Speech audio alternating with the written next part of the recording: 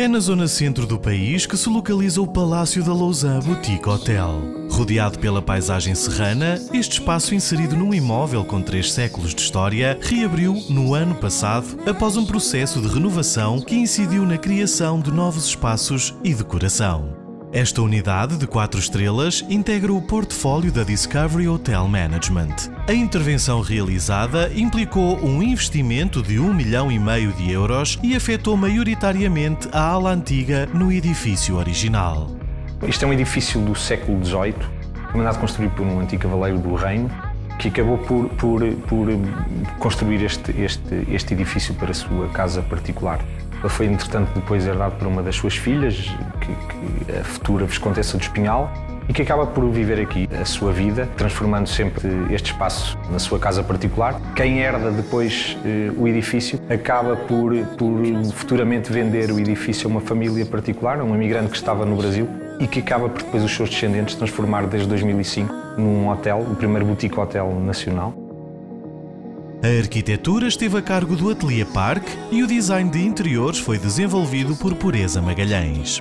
Todas as áreas comuns foram renovadas, respeitando a traça original do imóvel e têm nova decoração.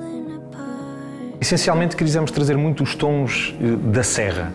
Quisemos que as pessoas eh, acabassem por criar espaços muito, muito vividos, que as pessoas pudessem viver, que pudessem sentir que depois de aproveitarem muito daquilo que a Serra traz e daquilo que esta região traz, pudessem chegar depois ao hotel e ao conforto dos seus quartos, ao conforto destas salas de estar e se pudessem sentir de facto em casa. Portanto, nos quartos quisemos, quisemos criar também uma, uma decoração muito minimalista, muito confortável, onde as pessoas pudessem de facto relaxar depois de um dia em cheio pela serra, cheio de experiências, que pudessem transformar a estadia em algo, em algo muito mais muito mais do que um simples quarto de hotel. Nos quartos da ala nova, para além também da decoração muito minimalista e de conforto, quisemos dar a possibilidade aos amantes das bicicletas que levassem as suas bicicletas para os quartos e, e, com suportes nas paredes para que não, não, não, não sentissem falta eh, das, suas, das suas companheiras de duas rodas, digamos assim. Para os apaixonados das bicicletas, está disponível um Bike Center.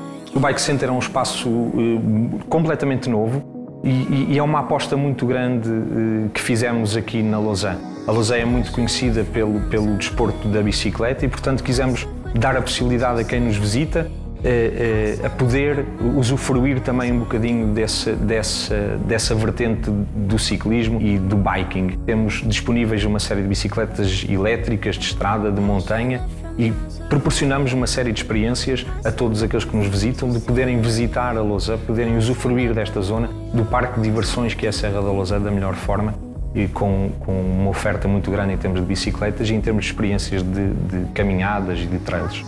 Existe aqui agora um novo espaço de refeições e lazer, o A Terra, acompanhado de um jardim de inverno. Os tons da Serra da Lausanne estão presentes em todas as divisões, num hotel que aposta no conforto e quer que o hóspede se sinta como se estivesse em sua casa.